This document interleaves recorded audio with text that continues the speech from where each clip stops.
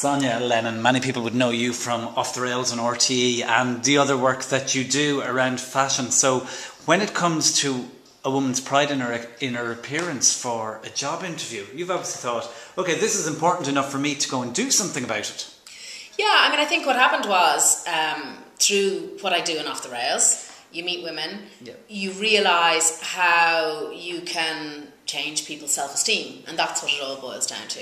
And your self esteem is what allows you to make the right decisions in life, to protect yourself, and to further your own career and your own um, life, really. Um, so, I suppose when I could see those changes happening one on one, the minute I heard about Dress for Success, I just realised, oh my God, here's an opportunity to do it on a bigger scale um, for people who genuinely need it.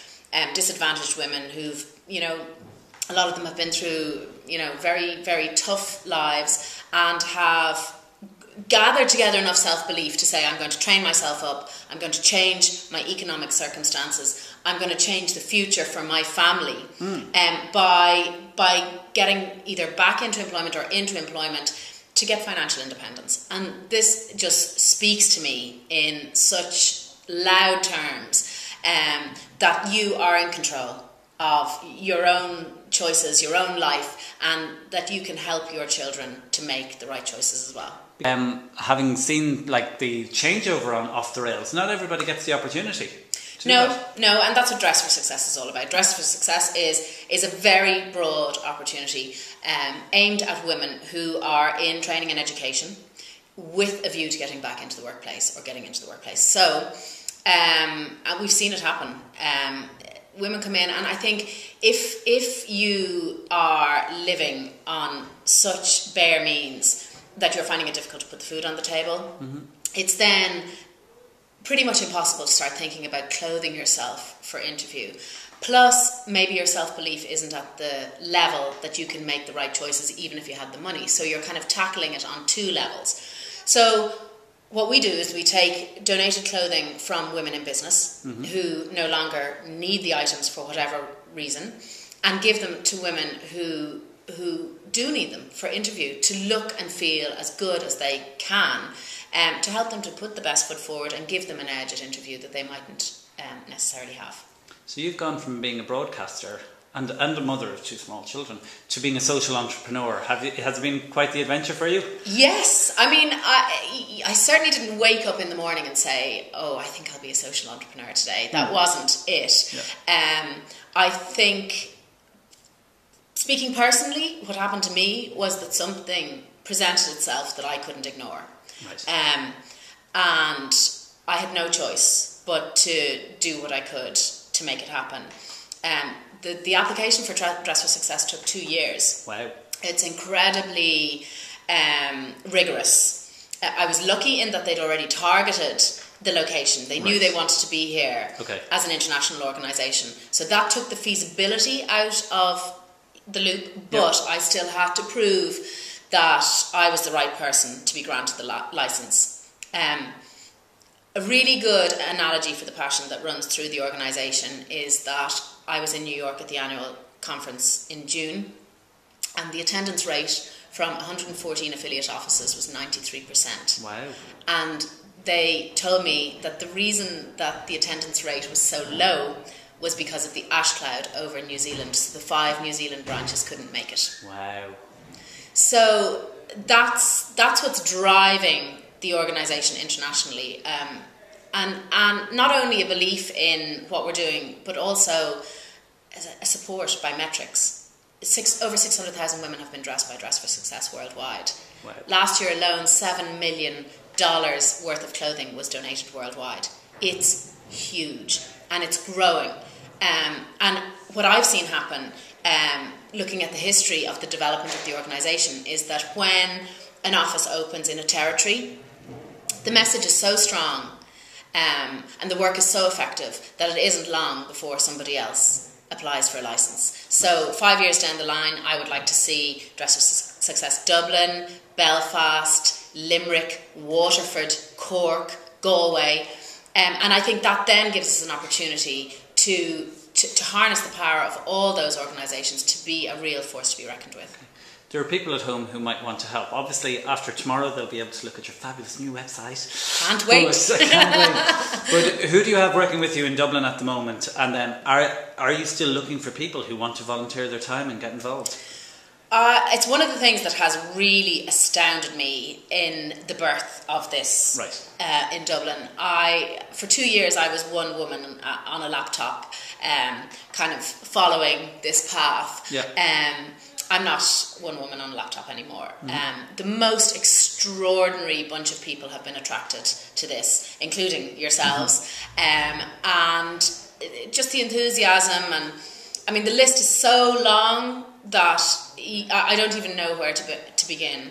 Um, on a sort of a, a you know a macro level. Arnott's have come on board as super partner, so our premises has come through their property portfolio.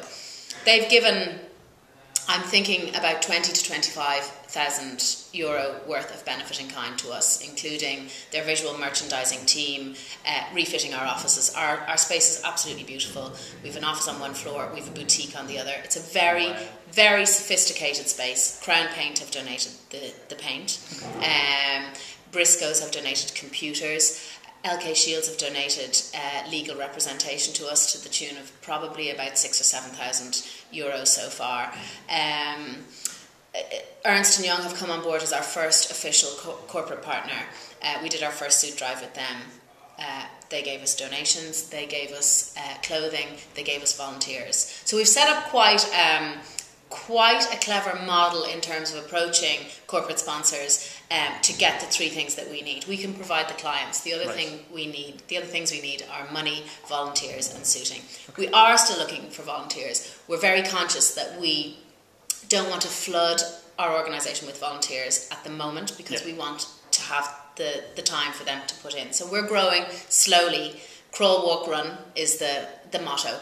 What we do need is volunteers in specialist areas. Okay. So we've targeted where we need people. I, the startup committee, who are working with me at the moment, have all been cherry picked for their skill sets. It isn't a social club. It's a group of really, really hardworking people. Um, to who to whom I owe my life at the moment. Right. Um, but we do, do still have a couple of gaps um, in in the startup, and um, we're, we're looking at kind of filling them. Uh, IT is one, if you're interested. I think there's people at home who know me going, you know nothing about IT. um, and uh, what else do we need, Nicola? We've something else in there. Um, Maybe some of the career helpers people. Uh, Yeah. IT is the key thing. I think. yeah, I think so. Um, I mean, yeah, we've, we've covered the bases. All going to be on your fabulous new website. Exactly, Yeah. exactly. We've covered a lot of bases, um, and we're really, really pleased. And as I said, it's it's it has literally transitioned from one woman to a huge team. The awkward question that I'm going to ask, slightly awkward, is not about Brendan Courtney, lovely man.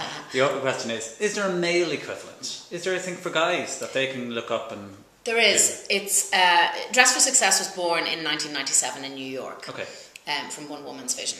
Yep. Um, last year, the male equivalent opened in New York, Okay.